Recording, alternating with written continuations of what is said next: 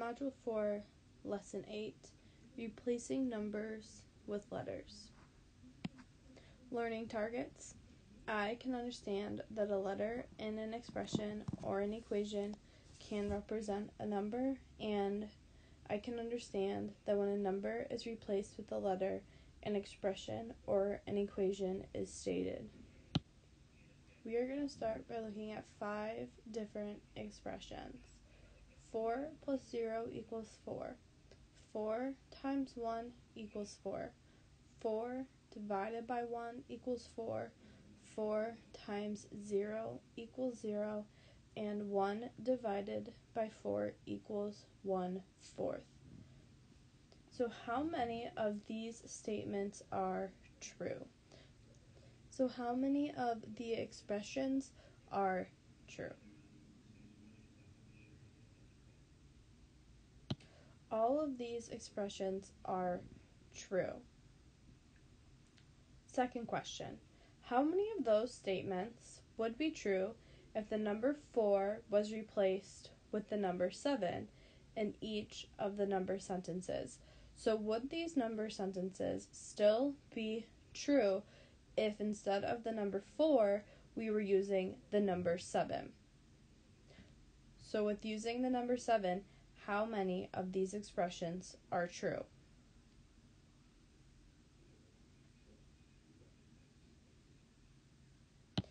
All of them are still true. So it does not matter if we used number 4 or number 7, all of the expressions are still true. What if we replace the number 4 with the number 0?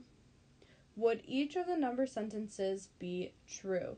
So now instead of 4, we're going to use 0. So with using 0, are all of the expressions true or are some of the expressions true?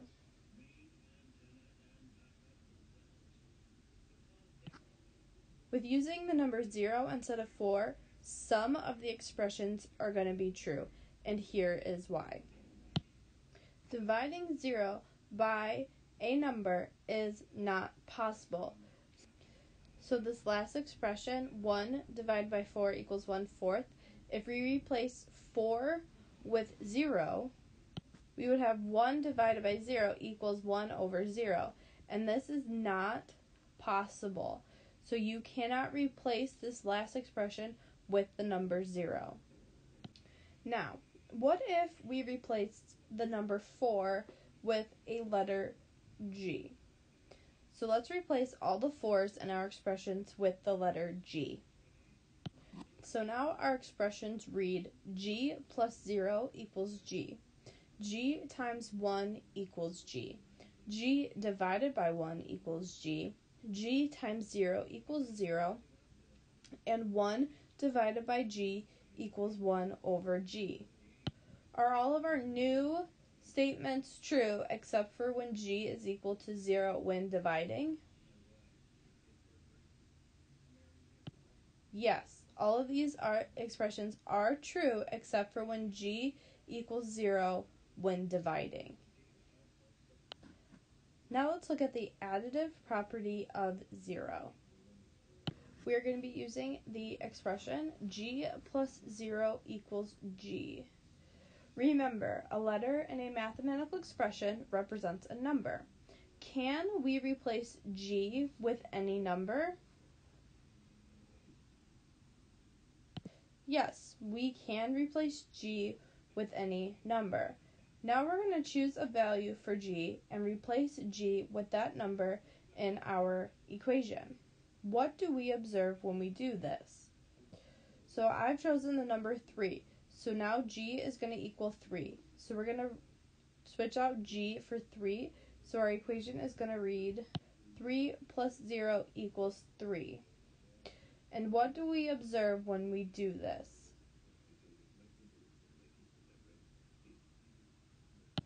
The value of g does not change when added to 0. So now let's replace g with the following numbers 6, 10, and 7.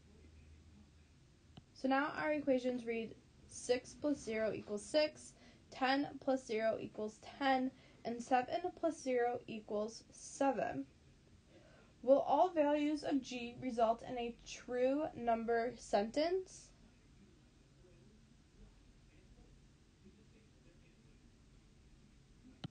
Yes, we can replace g with any number and the number sentence will stay true.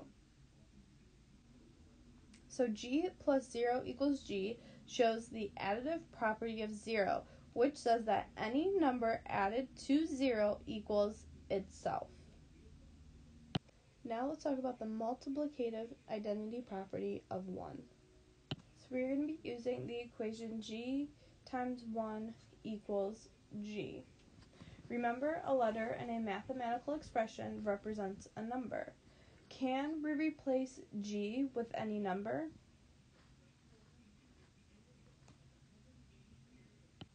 Yes, we can replace g with any number. So now we're going to choose a value for g and replace g with that number in the equation. So we're going to be using g equals 3. So now we can replace g with 3. So now our equation reads 3 times 1 equals 3. What do we observe? We can observe that any number multiplied by 1 is going to equal itself.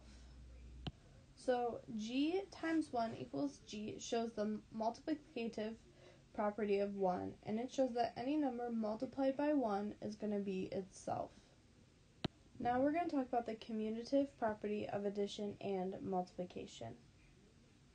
So we're going to be using the expressions 3 plus 4 is equal to 4 plus 3, and 3 times 4 is equal to 4 times 3. And we're going to start by replacing the 3's in both expressions with the letter A.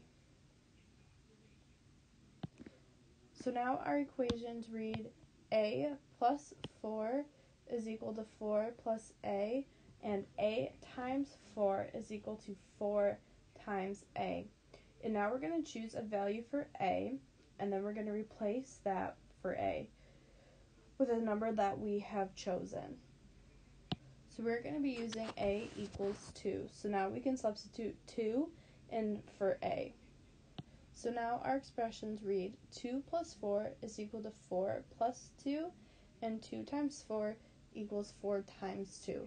What can we observe about these expressions when we replace A with a number? The result is a true number sentence. Will all values of A result in a true number sentence? Yes, because any number, even 0, can be used to replace the variable A. Now let's take our equations and replace the number 4 with the letter B. So now our equations read A plus B is equal to B plus A, and A times B is equal to B times A. And will all values of A and B result in true number sentences for the first two equations? The simple answer is yes. We can replace both A and B with any number. So A plus B equals B plus A shows the commutative property of addition, which means that order does not matter when adding. And A times B equals B times A shows the commutative property of multiplication, which means that order does not matter when multiplying.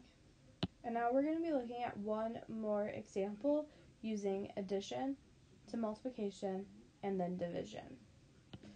So the two expressions we're going to be using are 3 plus 3 plus 3 plus 3 equals 4 times 3, and 3 divided by 4 equals 3 over 4. So if we replace the 3's and the number sentences with the letter A, what are our expressions going to look like? So I have replaced all the 3's with the letter A. So our expressions now read A plus A plus a plus a equals 4 times a, and a divided by 4 is equal to a over 4. Now we're going to choose a value for a and replace a with that number. And we are going to be using a is equal to 2. So now our expressions read as 2 plus 2 plus 2 plus 2 equals 4 times 2, and 2 divided by 4 equals 2 over 4. Will all values of a result in a true number sentence? Yes, any number, even 0, can be used to replace the variable a. And so you can divide by 0 as long as the divisor is not equal to 0. The dividend can be 0, meaning that you could have 0 over 4 or 0 divided by 4. Now we are going to write the equations and we're going to be replacing the number 4 with the letter B.